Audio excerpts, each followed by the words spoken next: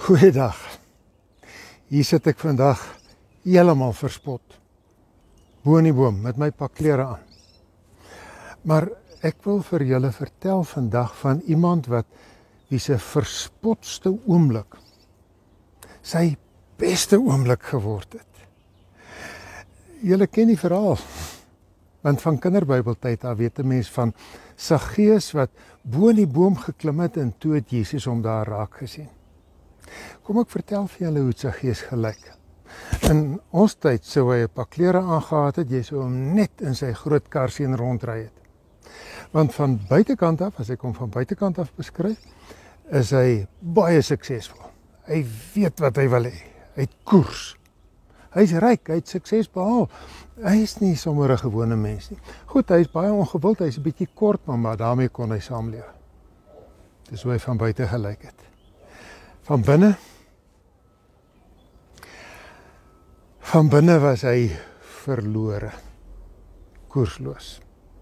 Het hierdie leë kol in sy binneste gehad. Hy het gesê ek het vandag klomp dinge gedoen, maar wat daarvan? En dis daai leegheid wat op die ou end vir hom laat sê het ek wil gaan kyk na hierdie man Jesus wat verbykom. Ek ek wil net gaan kyk. Ek gaan nie nader kom nie, maar ek wil net sien want ek het so 'n leegheid in my binnekant. En toe gaan hy en toe klim hy bo in die boom. En toe in die boom en bo in die boom is, toe word hy nog raak gesien ook. Hierdie ryk suksesvolle man so verspot daarbo. Maar omdat Jesus hom raak sien, was dit iets anders. Hy het hom nie verneder, geshame nie. Hy het hom met respek hanteer en hy sê: "Hallo se gees, klim af. Ek wil by jou gaan kuier. Ek wil saam met jou eet. Ek wil vir jou meer gee as wat jy gesoek het." En toe kry hy meer as wat hy gesoek het. En toe word sy verspotste oomblik sy beste oomblik. En hy staan op en hy sê waar ek van tevore gevat, vat, vat het, gaan ek nou gee. Ek gaan helfte van my besittings weggee. Ek gaan vier dubbel teruggee wat ek afgepers het. Ek is 'n ander mens. Ek het nie meer rigtingloosheid nie. Ek het nou rigting. En dis toe wat Jesus hierdie wonderlike woorde sê. Die seun van die mens het gekom om te soek en te red wat verlore is. Dis Jesus se se se lese waarvoor hy gelewe het en gekom het. Ek is nou nog verstom daaroor. Want hy het gekom waar mense eintlik sou sê hy die mense gemaak en toe ons doen wat ons wil kon hy ons gelos het. Toe sê ek kom want julle was ontwerp om liefde te lewe. Liefde vir God, liefde vir mekaar. En nou dat julle koersloos en rigtingloos is, ek kom om vir julle te help. En ek soek. Ek bly nie daar ver nie. Ek ek kyk in die bome op en ek stap in jou huis in want ek kyk na meer as net die oppervlakte. Ek sien raak dat jy besig lyk elke dag dinge doen maar jy's leeg van binnekant af. En ek gaan vir jou red van hierdie verlorenheid. En red is nie net ek gaan jou hemel toe vat nie. Red beteken ek gaan jou hier op aarde verlos van rigtingloosheid en 'n leë gevoel einde van elke dag. Ek gaan vir jou 'n sinvolheid, 'n lewensdoel gee dat jy nie meer verlore is nie. Jy's nou myne. Hierdie is Jesus se roeping. En ons wil vandag iets daaruit vir onsself vra. Kom ons vat iets vir myself. As ek hierna kyk, is ek waarskynlik reeds deur Jesus gered omdat ek vir hom gekies het. Maar dit beteken nie dat daar nie party daar is wat ek wel verlore voel nie. Leeg.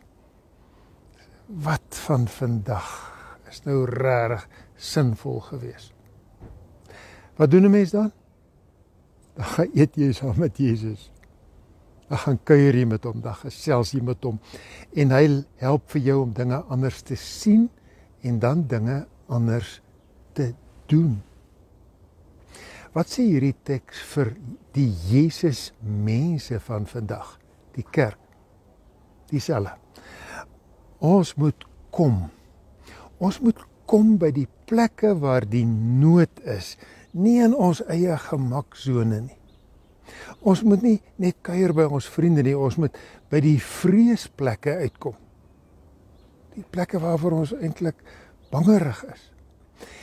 Ons moet soek deur na meer te kyk as die oppervlakte. As jy in 'n winkelsentrum rondkyk, lyk niemand verlore nie. Dis ons sal moet binnekant kyk. En binnekant luister en naby genoeg kom dat jy hoor wanneer mense sê ek kry swaar. En dan dan het ons mos iets om vir iemand te sê ek kan vir jou help om gered te word. Dis nie preek nie. Dis nie uit die hoogte uit praat dat ek vir iemand sê o ek sien jy's verlore ek is daarom nou al baie beter as jy nie dat ons daai iemand shame verneder deur ons groot geestelikheid nie. Dis doodgewoon sê ek het vir Jesus gekry het vir my die boom uitgehaal. En ek probeer saam met hom leef, nie elke dag met met vrolikheid en elke oomblik sinvol nie, maar ek kom terug by die sin dat ek vir Jesus saam met Jesus lewe. Jesus het op 'n stadium 'n klomp mense gesien in Matteus 9 en gesê hulle was moeg en hulpeloos sonder 'n herder. Ons kan maar net sê ek het 'n herder. Ek is nie meer verlore nie. Nie meer rigtingloos nie. Jesus is my herder. Hy het my daai boom uitgehaal mag jy dit elke dag beleef. Kom ons bid saam. Hemelvader, dankie dat U vir sy gees gekry het. Dankie dat U vir ons gekry het. En nou wil ons bid en vra dat ons oplettende, soekende, helpende mense sal wees. Dat U vir ons regtig sal die genade gee om raak te sien wat U sien en dan namens U te help. Here ons bid vir 'n hele wêreld se reuse nood.